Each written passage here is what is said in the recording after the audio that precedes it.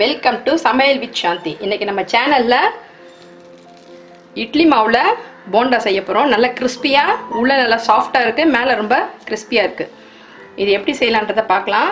அதுக்கு முன்னாடி நம்ம சேனலை சப்ஸ்கிரைப் பண்ணாதவங்க சப்ஸ்கிரைப் பண்ணுங்கள் பெல் ஐக்கானை கிளிக் பண்ணுங்கள் தேவையான பொருட்கள். இது வந்து இட்லி மாவு இது. ஒன்றரை கப்பு வேணும் இது.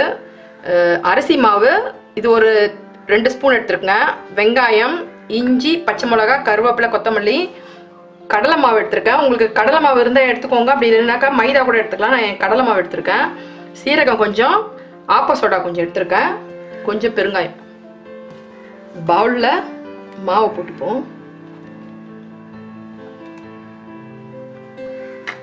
ஆனியன் போட்டுக்கலாம். பச்சை மிளகாய் இஞ்சி கருவேப்பிலை கொத்தமல்லி.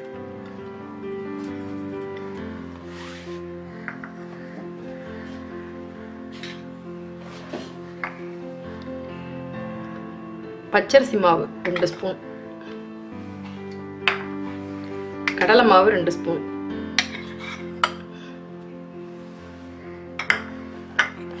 ஆப்பஸோட கால் ஸ்பூன் சீரகம் ஒரு கால் ஸ்பூன் போட்டிருக்கேன்.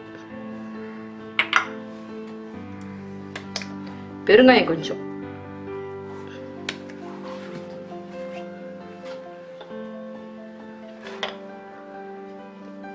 தேவையான அளவு சால்ட் ஆல்ரெடி மாவுல இருக்கும். நீங்க வந்து இந்த இப்போ போடுறதுக்கு மட்டும் சேர்த்து போடுங்க. நிறைய போட்டுறாதீங்க. இது நல்லா நம்ம கையில உருட்டுற பதத்துக்கு மிக்ஸ் பண்ணிக்கணும் இது. மாவு நல்லா மிக்ஸ் பண்ணியாச்சு. இந்த அளவுக்கு வச்சுக்கோங்க. நம்ம எண்ணெயில் போடுறதுக்கு கையில் தண்ணி தொட்டுட்டு போடுறதுக்கு வசதியாக இருக்கும். உங்களுக்கு மாவு பத்தலை அப்படின்னா கூட கொஞ்சம் போட்டு இது பண்ணிக்கோங்க. ஓகே தேங்காய் மறந்துட்டேன் நான். தேங்காய் பல்லு பல்லாக கட் பண்ணி போட்டுக்கோங்க.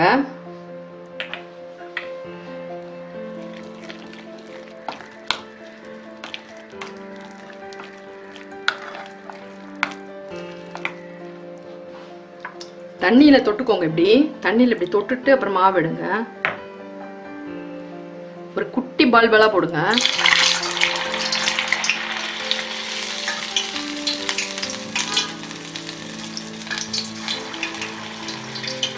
தீ வந்து மீடியமாக வைங்க. உள்ளெல்லாம் வேகும்.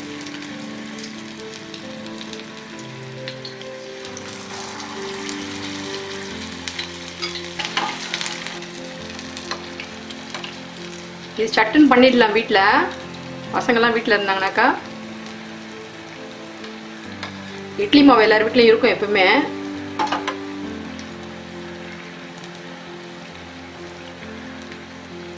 நல்லா வெந்ததும் எடுங்க.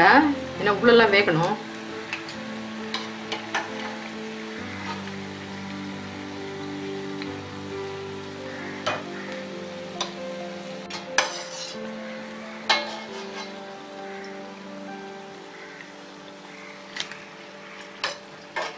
சுவையான இட்லி மாவுல தயார் பண்ண போண்டா ரெடி இந்த வீடியோ உங்களுக்கு பிடிச்சிருந்தா லைக் பண்ணுங்க ஷேர் பண்ணுங்க இந்த டிஷ் செஞ்சு பார்த்துட்டு எப்படி வந்துச்சுன்னு கமெண்ட் பண்ணுங்க. இதே மாதிரி நிறைய ரெசிபி உங்களுக்கு வேணும்னா எங்க சேனலுக்கு சப்ஸ்கிரைப் பண்ணுங்க.